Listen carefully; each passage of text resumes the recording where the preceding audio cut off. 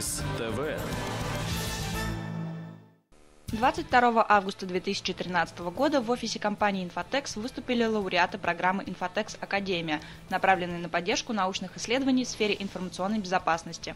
Глава компании Андрей Чепчаев, а также кураторы программы перед тем, как запускать новый цикл Академии, продемонстрировали успехи предыдущего, стартовавшего в 2012 году. По их словам, это уже третий раз, когда проводится академический конкурс, но впервые мероприятие привлекло такое большое количество участников. Всего поступило 100 заявок. Расширилась география участия. Кроме лидирующих Москвы, Санкт-Петербурга и Самары, активно себя проявили ученые Тюмени, Краснодара, Орла, Таганрога. В сумме на их счету каждая пятая заявка.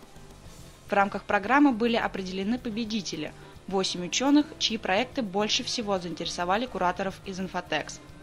Темы работ лидеров – безопасность операционных систем, в том числе мобильный Android, анализ шифрованных данных и криптография в облаках, детектирование атак на информационные системы и другие.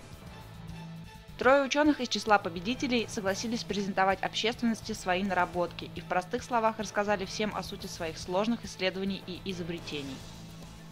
После презентации кураторы программы долго и охотно отвечали на вопросы журналистов, рассказывая о прошлом Инфотекс Академии, ее перспективах, принципах отбора победителей. Однако главные вопросы, интересовавшие всех пришедших, сводились к двум словам – сколько и зачем.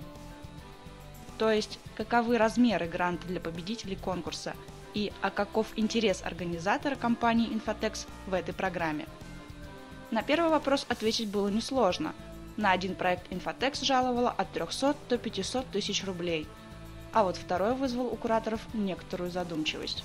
И не зря. В современном мире чистую благотворительность трудно отличить от аккуратно преподнесенных публике инвестиций. Бизнес всегда остается бизнесом, и, пожалуй, только Билл Гейтс способен осыпать нуждающихся миллионами, не ожидая возврата. В остальных же случаях за каждой потраченной копейкой стоит определенная цель, и увидеть эту цель порой очень непросто. Из ответов представителей компании стало понятно, что результаты исследований, находки, сделанные участниками конкурса за счет гранта от Infotex, переходят компании-организатору. Хотя, разумеется, авторство научных открытий остается за самими учеными. В этом отношении улов последнего цикла Академии неплох. По результатам одного из восьми исследований уже удалось получить патент. Многие из остальных наверняка получат свое развитие в новых продуктах компании. Однако представители Infotex с порога отмели предположение, что Академия всего лишь способ по дешевке скупить научное открытие. Один из кураторов программы выступил с прочувствованной речью о том, что сегодня отечественная наука задыхается без финансирования, несмотря на все громко анонсированные Потемкинские инновационные центры. И только бизнес способен действительно поддержать исследования, без которых и сам вскоре останется у разбитого корыта, застрянет в тупике развития без свежих идей. Академию в недрах компании задумывали именно как способ спонсировать наиболее передовые направления в науке, но, разумеется, не без пользы для себя. После такой пламенной речи от презентации и от самой программы могли остаться только приятные впечатления.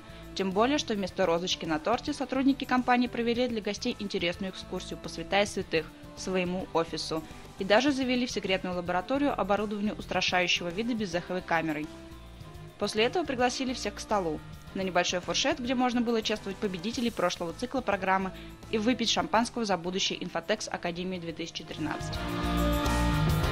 БИС ТВ